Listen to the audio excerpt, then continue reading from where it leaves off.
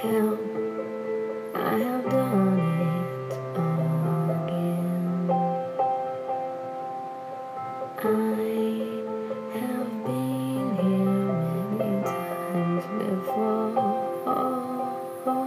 hurt myself again today.